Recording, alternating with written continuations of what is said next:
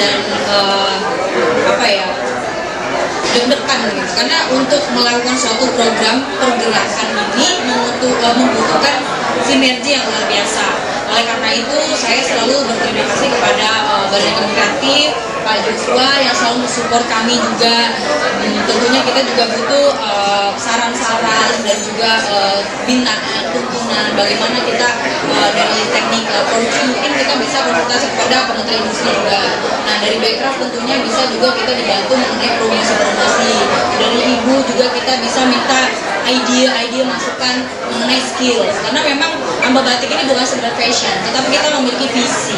Kita memiliki uh, misi untuk meregenerasi di mana semua kita mengajarkan anak-anak sekolah ini untuk bisa uh, let's say uh, belajar melukis untuk menanamkan bakat seni waktu masih kecil. Kemudian SMP SMA dia bisa belajar membatik. Kemudian mereka juga bisa belajar uh, fashion designer. Kemudian juga bisa menggunakan graphic design uh, yang dengan teknologi tertentu.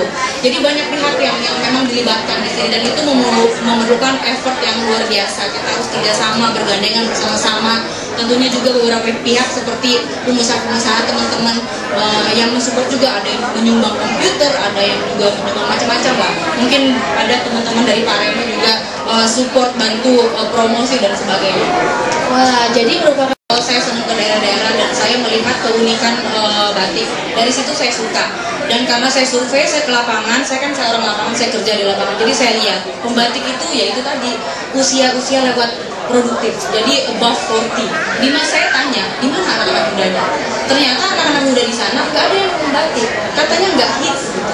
Jadi mereka lebih suka mereka lebih suka kayak kerja di tempat lain seperti uh, mall atau apa. Saya di situ mulai tumbuh kekhawatiran saya kalau misalnya yang usia-usia lanjut ini sudah selesai mohon maaf siapa yang meneruskan oleh karena itu Amba Batik berfilosofi merawat tradisi membagi hati. 50% profit we donate for uh, kita education kita bangun sekolah kita beri pelatihan kita beri mereka uang saku setiap bulan agar mereka termotivasi.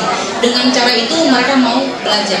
Kita harus memang berproses ada rangkaiannya. Kalau tiba-tiba suruh batik aja terus nggak dikasih apa mereka pasti nggak nggak nggak menarik tapi kita akan kemas semanis mungkin nah, yang saya sudah saya sampaikan tadi uh, banyak sekali teman-teman dari pengusaha dan macam-macam itu sangat antusias. Jadi mereka sudah beli, mereka bantu produk juga. Jadi hari ini kita mau launching khusus untuk men's fashion koleksi Satria Garuda. Kenapa? Karena kemarin itu uh, ada uh, teman saya Pak Reno juga um, punya film dan itu karakternya adalah Satria Heroes. Jadi uh, pahlawan jadi dari atas dasar karakter-karakter film itu kita jadikan uh, apa namanya souvenir batik. Karena kan uh, Satria Heroes juga banyak koleksi kayak misal t-shirt apa dan kita buat batik. Kita sudah buat 120 pieces dan itu sudah habis kurang dari tiga minggu.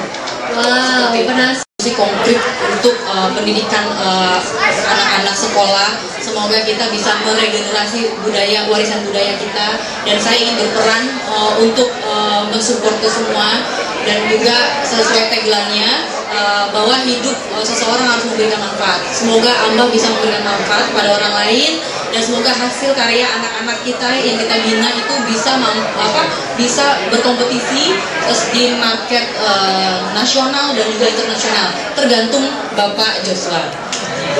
Kira-kira begitu Pak.